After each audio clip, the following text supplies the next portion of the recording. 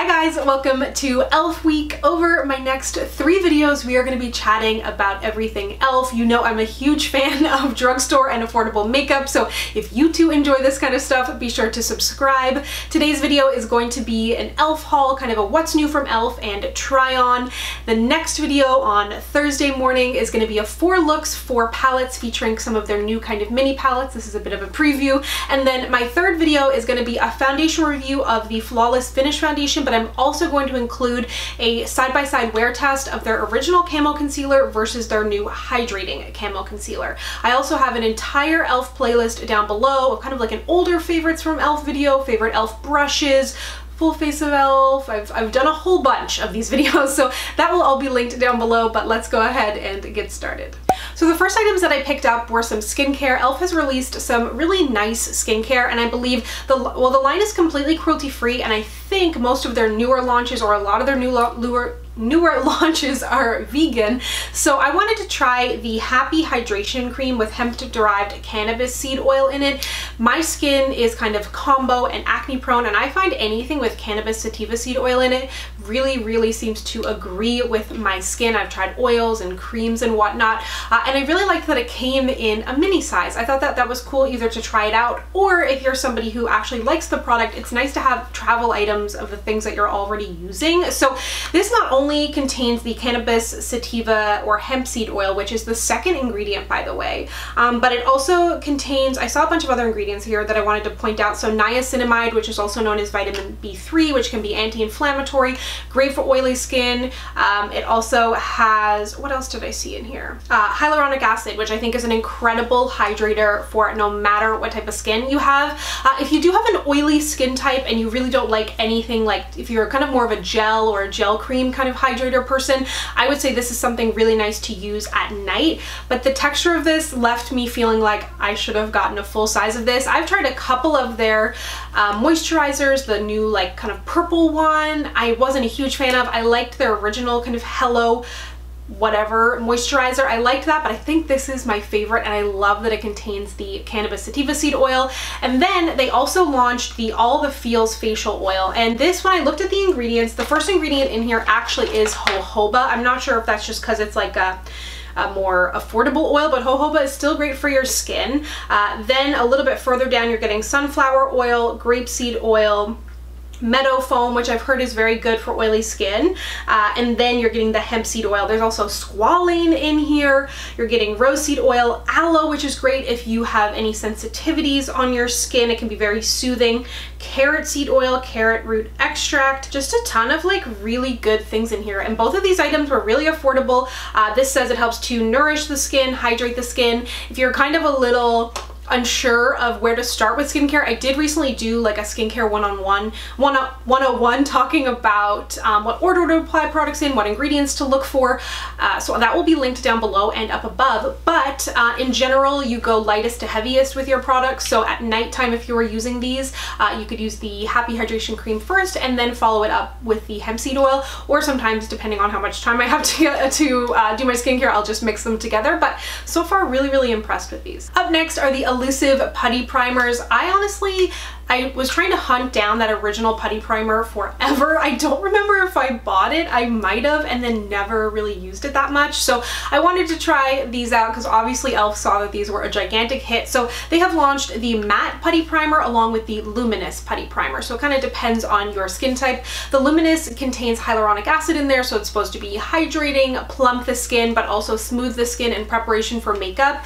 And the luminous has a little bit more of a yellow tint to it. It almost has like some gold in there, but I didn't notice it to be like, there might be tiny, tiny shimmers in there, but nothing crazy. I actually kind of feel like you could put this over your makeup and pat it on top, but let me try that first before I go ahead and recommend it. Uh, and then the other primer is the Matte Putty Primer, and this one contains kale and clay, so of course it's supposed to be more mattifying.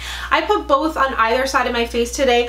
I don't see a gigantic difference right now. I feel like this side might be a little bit more matte, but I did try putting the uh, Cannabis Sativa Seed Oil under my makeup today just to kind of play around. So that is definitely adding some more glow. One recommendation I will make for these uh, primers, no matter your skin type, I feel like you're gonna wanna be hydrated when they go down.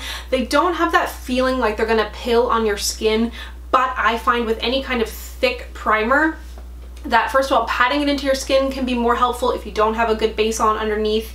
Uh, but also if you have either just kind of you put your moisturizer on it's not fully absorbed into your skin or if you've got some kind of makeup prep spray to put those down. And also you can kind of target it into say like just the areas that you have pores and put another primer on the rest of your face. Because it's I don't find it hard to work with but I find sometimes putty primers depending on your level of experience and you know how much you're used to using these types of things they can be a little bit more finicky. So keep those keep that in mind. Um, but so far I do enjoy these. I should also say, I don't know if it was because of the amount of points I had on their website or whatever it is, but they did send me two of these uh, beautifully Bare Smooth Matte Eyeshadows. I have not tried these. I'm probably just going to throw these in a giveaway pile, but they look like they could be good eyeshadow bases. And they also put in a mini of the Cannabis uh, Sativa Seed Oil Happy Hydration Cream, which is super nice. Uh, something else to keep in mind with the e.l.f. website, I spent like over a $100 and I still had to pay $7 shipping, which is annoying. Um, but on the plus side, I did not have to pay customs. I know when I lived in Newfoundland, I never paid customs on e.l.f., but then some of my friends did. I feel like it was just my mail lady. And then I think since living in Toronto, I can't remember if I've paid customs, but I know that I have had issues kind of similar to ColourPop where it like takes forever, doesn't show up, you pay a bunch of customs, blah, blah, blah. But this experience was really good. I don't remember exactly how long it took to get to me, but uh, I find e.l.f it's available in certain places here in Canada and definitely more readily available, but in general, for me online is just the best way because they have all the new products available right there and I feel like they take a little longer to get to Canada. And you also get to use your um, Ebates or your Rakuten. Right now looking at that website uh, it was 3.5% cash back which I always appreciate and I like not having to leave my house. So I'll have my Ebates link down below but let's go ahead and move on to probably one of the more exciting launches or I was super pumped to try I love concealers. So they've launched the Hydrating Camo Concealer. I did use the original Camo Concealer when it first came out and I liked it. It wasn't an incredible shade match, so I didn't find myself reaching for it over and over again. I think they might have extended the shades, or I can't remember if I purchased after they extended them, but I thought it was good, but I wasn't like, because of the shade match, I wasn't using it over and over again. But then they launched the Hydrating Camo Concealer, so I picked up two different shades, Tan Sand, which is what I wear in the original, and then I also thought I would try Tan Walnut just because it looked to be a little more neutral. In trying these, I ended up using Tan Walnut just to kind of spot conceal a little bit. It definitely is very, very cool toned. I thought it might be kind of more peachy neutral, but it almost ended up looking a little bit gray on my skin, and then on the opposite end, Tan Sand is super, super yellow. After I put my powder on and blend it in, I think you, you, I can kind of get away with the shades. They're fine. I don't find this to be, they're still saying that this is a, a satin, they're saying it's a satin finish in comparison to the other one, and it's also still supposed to be full coverage. I don't find this to be a full coverage concealer, but I do think it is pretty. This is only my first time trying it out, so I will continue to try it out before I get to that like wear test when I will kind of do the side by side, but I do think it is nice. I think it definitely seems like more of a medium coverage, but I do like the finish under the eyes. It's just a little bit jarring at first when I put it on. It had that really, really yellow tint, but yeah, I don't know, I'll have to play with these a little more. This is not new, but I was debating doing like a full face of e.l.f. either this week or at some point, and I don't have an e.l.f face powder. So this is the Sheer Tint Finishing Powder. I wanted to try it out because I'm a huge fan of the Charlotte Tilbury Airbrush Flawless Finish, which is a very expensive powder. There's not much powder in the actual container and I run through it very quickly. So I wanted to try something out with kind of like a sheer coverage that would have a more natural finish.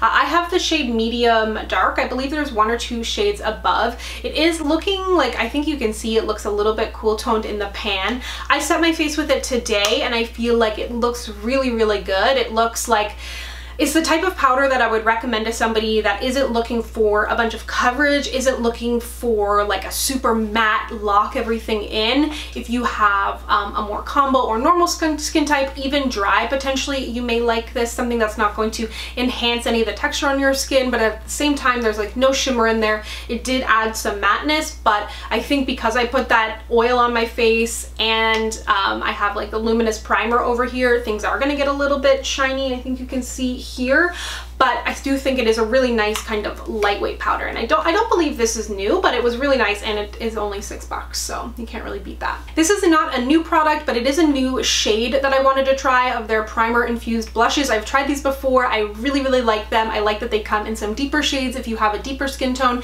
This one ended up being a little lighter than I kind of anticipated, but it's in the shade Always Peachy and I can't resist a peach blush. So this is very, oh, it's kind of hard to open. It is very light and peachy, but it still has enough depth. I think it did appear on my cheeks. It is a very powdery formula, so that is something to keep in mind, but I don't think it looks powdery on the cheeks. I think the color is really gorgeous. Even if you're like a little bit lighter than me, I think it's gonna pop even more. It's a really beautiful color because a lot of peaches have more like coralness in them, and I think this has more of that like orangey yellow undertone, which is a little bit more unique in terms of my peach blush collection, but overall I do really, really love these primer and infused blushes. They come in a really nice amount of shades and I just love the packaging. I've talked about this time and time again, but drugstore blush packaging can be really annoying, really bulky, just just far too much going on and this is like nice and simple and sleek.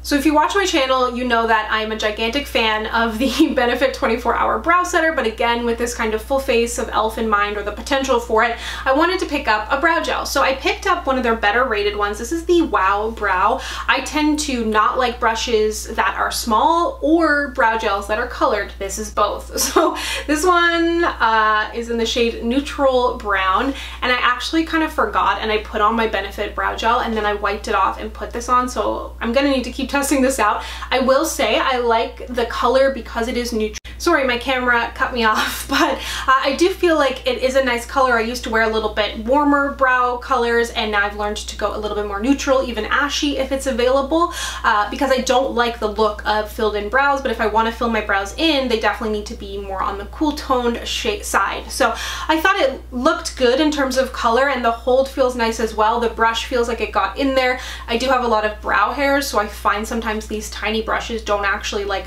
I really need something to keep my brows in place as opposed to adding in a bunch of brow hairs. So this could potentially be a good option, but I will need to continue testing it out. I thought this sounded like a pretty interesting product. I don't know if it's just them being like, let's put putty on everything because it sells out, but it is the Putty Eye Primer. And I think the most exciting thing about this, first of all, the packaging looks gorgeous, looks super high end. This is plastic, but it looks almost like a frosted glass, looks really gorgeous, but it comes in how many shades? It comes in six different shades. So there's like a, um, is it white? Yeah, there's like a straight up white and then there's also, sorry, four. So the, there's a white, there's a black, and there's four kind of skin tone shades in between, which I think is really cool. You don't see that a lot with different eye primers. I tend to go for ones that have a more like beigey depth in them as opposed to a white because I'm never really doing looks that I want like a white base for and I find some like nude or skin tone primers are never actually my skin tone. If you have a deeper skin tone, you've definitely run into this. So I picked it up in the shade Sand and it's a more or less spot on match for my skin tone.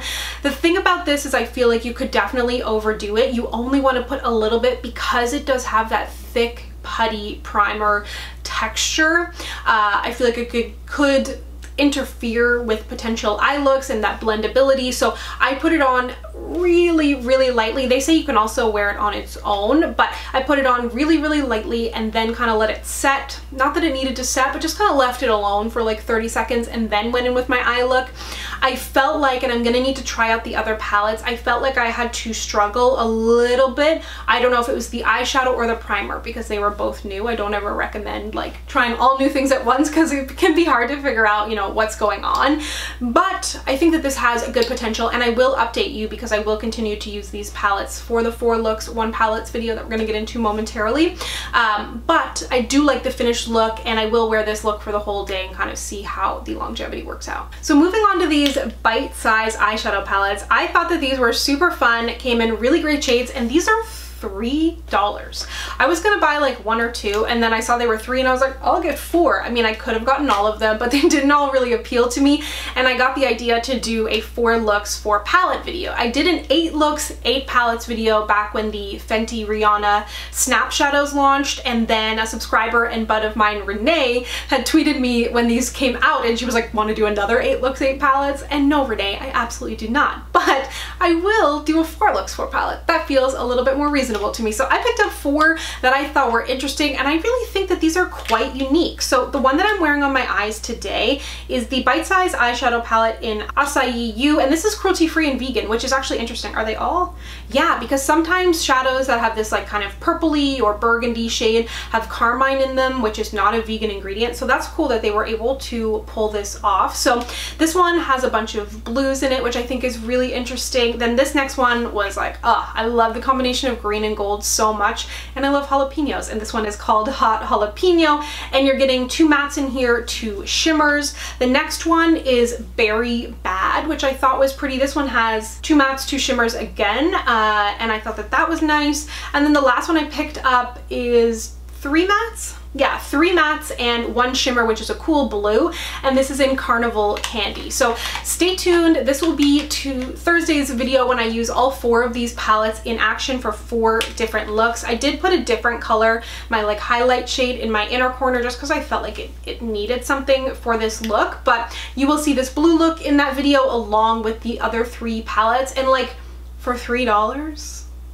the quality is good. Like e.l.f. has always had good eyeshadow quality, but I felt like the colors lacked and kind of the color stories and the palettes themselves, but they've really stepped it up and I really like that they came out with some fun new palettes and great colors and although their prices have started to kind of creep up there, this is definitely more uh, similar to their old pricing when like everything was a dollar, but uh, the quality is much better. So I think that that's super exciting. Lastly, I had to grab some lip products, of course. These are some new ones from them. So these are the Sheer Slick lipsticks. I think that these look really cute. They're like borderline juvenile, but just enough that they're cute. I picked it up in the shade Grapefruit and I love the shade. I wouldn't say as sheer as I anticipated. I think there's a decent amount of pigmentation in there. Obviously you can put less on your lips or more on your lips, but I felt like I kind of put a regular amount and got like a medium amount of pigment. I definitely wouldn't consider at least this shade to be completely sheer, but it felt hydrating, it felt comfortable, and I thought it was nice. Uh, then I picked up, these are these satin, seriously satin lipsticks. This is what I'm wearing today with a ColourPop lip liner.